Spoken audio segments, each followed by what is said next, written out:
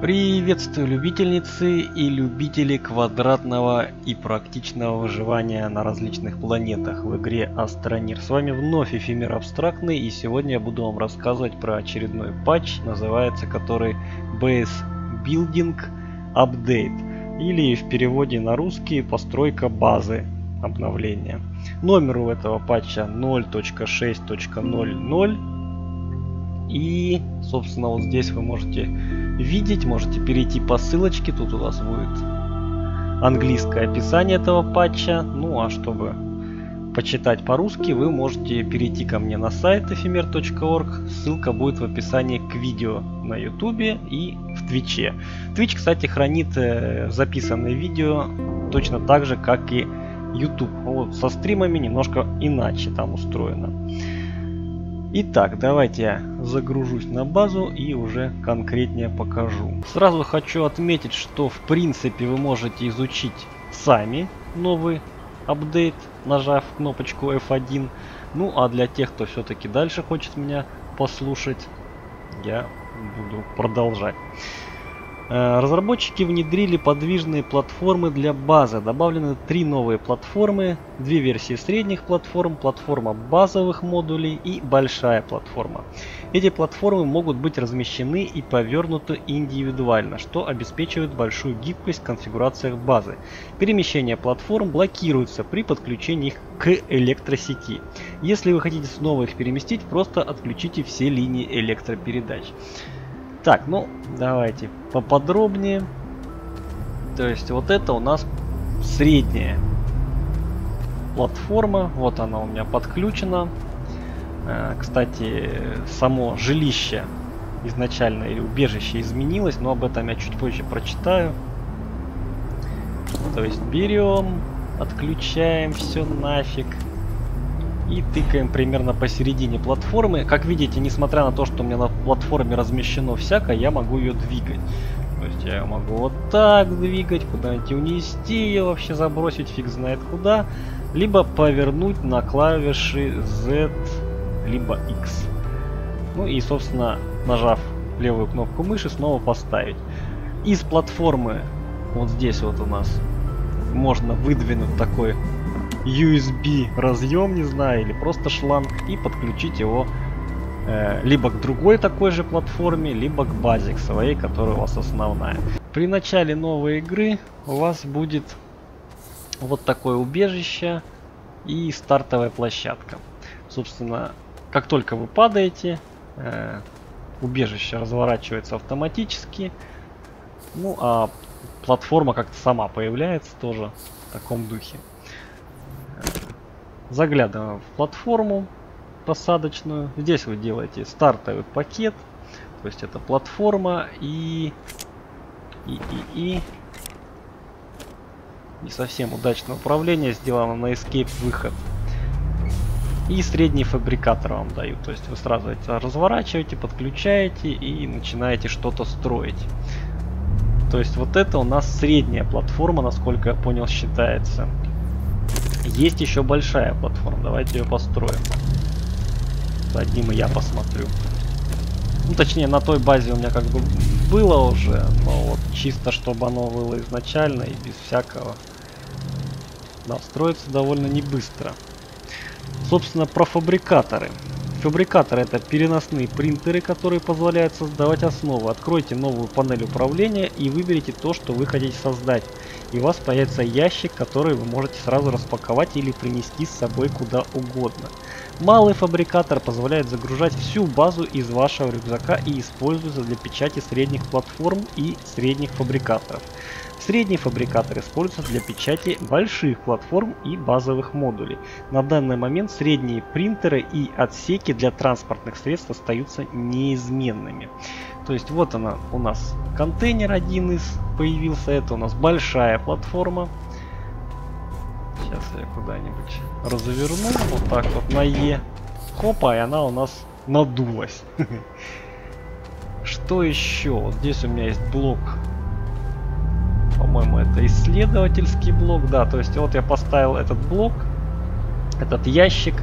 И могу развернуть лабораторию исследований. То есть Флокс, она у меня тоже, так сказать, надулась. И, кстати, вот пока она не подключена проводами еще раз, я могу ее передвигать. То есть здесь все вроде бы логично и довольно просто. Что еще?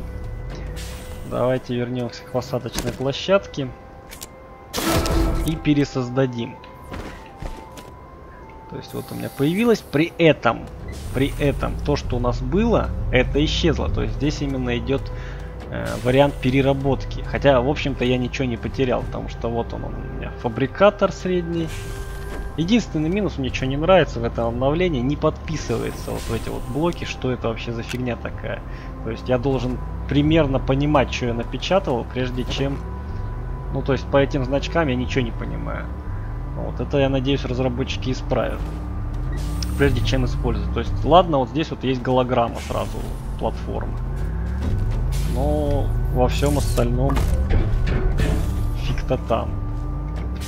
И снова ставим фабрикатор. И снова его разворачиваем. Вот в таком, в принципе, ключе все это работает, все это разворачивается, все это между собой подключается. Ну, вроде бы никаких заморочек не должно у вас возникнуть. Ну и заходите в сам фабрикатор и здесь строите. То есть поначалу у вас ничего особо недоступно, но потом со временем вы развиваетесь. Так, есть еще малые платформы, но к малым платформам относятся, э, по сути, то есть некоторые ящики еще, хочу уточнить, можно засунуть в рюкзак. Большие ящики, например, большая платформа, она мне в рюкзак уже не лезла. То есть, в принципе, это тоже иногда удобно, что-то с собой брать, чтобы переносить не в руках.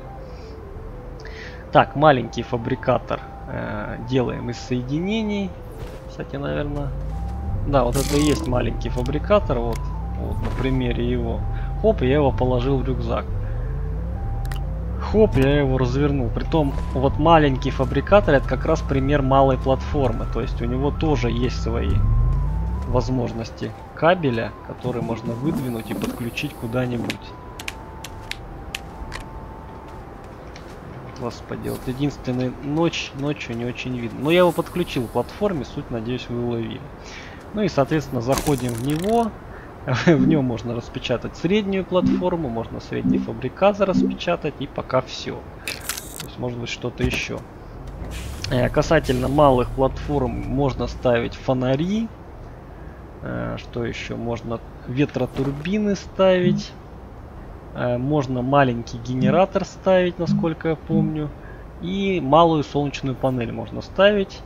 Это будут отдельные вот эти вот маленькие платформы. То есть, в принципе, если раньше нам нужно было слот занимать обязательно, чтобы работала, например, солнечная панель, то теперь можно просто ее рядом поставить и подключить проводом, и все.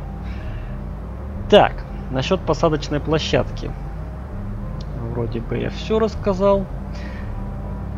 А, то есть она используется для вызова ваших первых упаковочных пред... упакованных предметов и в качестве зоны для других игроков, которые присоединятся к вашей сессии, чтобы приземлиться.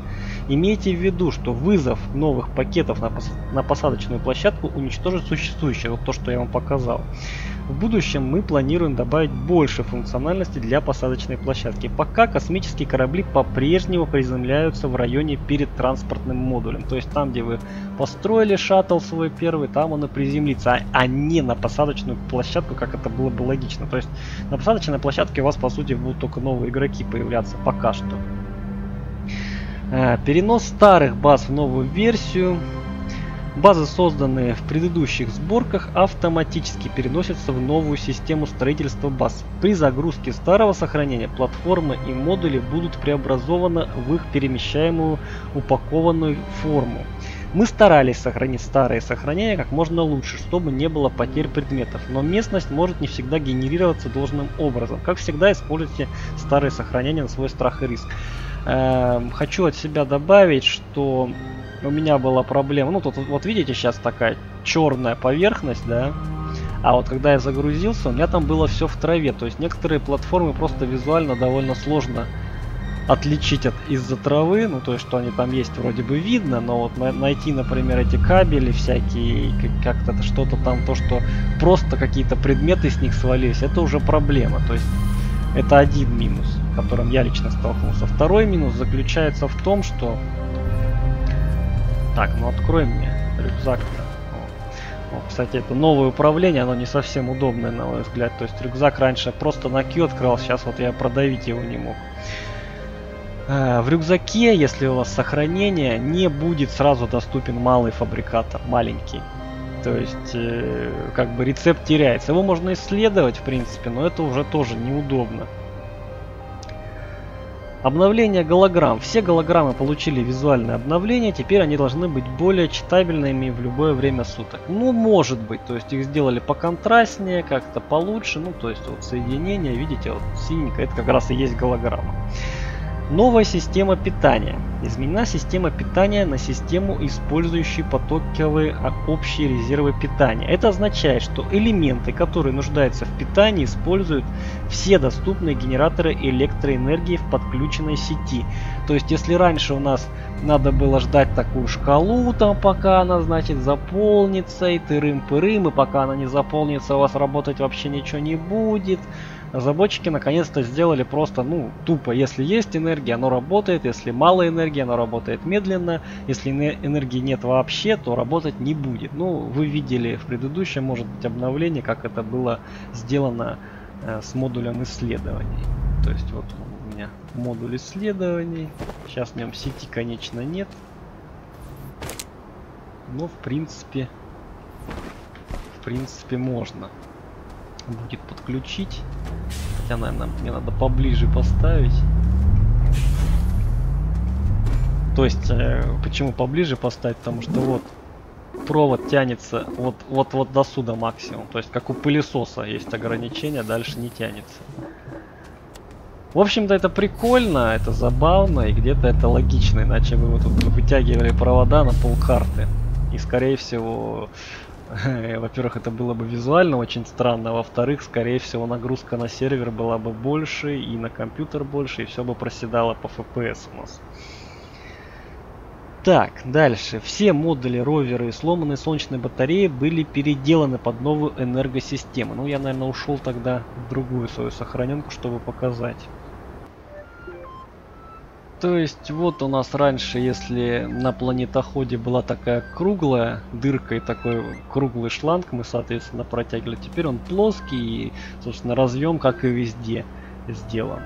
То есть, в общем-то, я не знаю, насколько это было сложно разработчикам сделать, но они это сделали. Ура! Почему вот у меня только один вопрос. Почему это сразу не, нельзя было сделать? Вот эти вот базы, модули баз. То есть это было так настолько логично, вот это выглядит настолько органично по сравнению с тем, что было, только один вызывает у меня вопрос. Ну ладно, это я уже начинаю, наверное, придираться, но вообще пишите в комментариях, как вы считаете. Э, насчет сломанной солнечной батареи хочу пояснить, наверное, может быть не все видели, то есть иногда можно найти такие буквально солнечные батареи от спутника, которые валяются, вот. То есть вот именно вот это вот имеется в виду. У меня, к сожалению, под рукой такой штуки не оказалось, но, видимо, там тоже такие же новые кабели придумали. Тут еще есть прикол с мощностью, то есть смотрите внимательно на этот желтый полукруг. То есть э, у вас он, если заполнил, то хо все хорошо. Если он красненький, то значит у вас не хватает энергии в сети. То есть это не просто разъем, это еще и индикаторы. Обновление кабелей. Кабели и их соединители теперь являются индикаторами. Ну, я про это рассказал. Удлинители. Добавлен новый направленный электроинструмент удлинитель. Удлинитель можно печатать в пучках по 6 из вашего рюкзака. Но вот насчет 6 я не знаю, если честно. Так, ну я не это хотел открыть. То есть, э, сейчас я состакаю. Нет, не стакается, что ли, обратно. Он обратно не стакается, вот зараза. Ну, визуально здесь их только 5. И я вроде бы ни один никуда не задевал, просто не успел, хотя мог и задевать. Ну ладно, поверим на слово патчноуту и будем считать, что их там все-таки 6. Хотя по факту у меня есть большие сомнения. Итак, как это работает? Вот мы тянем, значит, шлангс наш. И вот вы видите голограмму такой штуки. Вот это и есть удлинитель. Притом на удлинителе есть шеврон, то есть куда поступает энергия. Так, вот мне интересно, как мне сделать, чтобы она обратно поступала? Или никак? Там написано, что можно переключить. Я пока, честно скажу, не разбирался. Я думал, что это будет изи-бризи. Кстати, можно вот так вот еще отключать. Забавно. Мне надо куда-нибудь подключить, чтобы понять, как переключать. Итак, я тут потыкался и пришел к выводу, что единственный способ переключать направление это тянуть с лево направо в данном случае, либо справа налево. То есть сейчас у меня энергия должна течь в обратном направлении, то есть от э, станции, так, что у меня тут, от среднего принтера к основной базе. То есть, если я вот здесь вот отключу и буду тянуть вот так, то шеврон меняет направление. Не знаю, видно ли вам визуально или нет. Да, вроде бы видно. Серенький шеврон. То есть энергия сейчас никакой не течет, соответственно, потому что он серый. И если я отсюда протяну сюда, то шеврон поменяет направление. Э, если честно, вот сейчас, сейчас сколько у нас имеется в наличии всяких Э, штук различных для присоединения. Но я не вижу особо, особого смысла в этом. Но в будущем, в будущем, скорее всего, смысл появится. То есть, ну, что-то, чтобы у вас э, подключено было именно вот так и не иначе. То есть, э, когда у меня, допустим, здесь средняя солнечная панель, ну не средняя солнечная, а просто солнечная панель, будем ее так называть, включена. То есть, кстати, вот, завис... э, в отличие от малой солнечной панели, эта солнечная панель не имеет в себе разъемов. То есть их, ее все равно втыкать приходится э, в платформу в основную. Вот. И так как она ничего не заряжала, в ту сторону электричество не текло у меня. То есть оно может течь только обратно, если ничего нет. Ну, тоже может быть где-то, где-то может быть уже сейчас удобно. Так, Э, про автономные платформы маленькие рассказал. Ну вот э, еще единственное, что не рассказал, это обновление взаимодействия. То есть в игру добавлен новый глагол взаимодействия, это использовать э, по умолчанию это клавиша E или на геймпаде X и эта клавиша у нас также используется для входа и выхода, ну, например, вот в ровер. То есть, если раньше вы просто рядом с ровером нажимали E и заходили или выходили из него, то теперь надо навестись на кабину, зажать E, только потом вы попадете в свой транспорт. Ну, не знаю, по-моему, вот это вот нововведение они зря сделали, то есть, ну, вроде бы как бы и да, и в то же время как бы не очень. Ну, в общем, на этом все. Если вам нравится то, что я делаю, не забывайте подписываться. Все ссылки я прикреплю на YouTube в комментарии. На Твиче, наверное, просто в описании добавлю. Э, также у меня появился телеграм-канал. Ну, а если вы настолько оценили это видео, что готовы поддержать монетками, то есть ссылки на различные виды доната. Ему я всегда рад. На этом все и до встречи в следующих видео и стримах. Всем пока!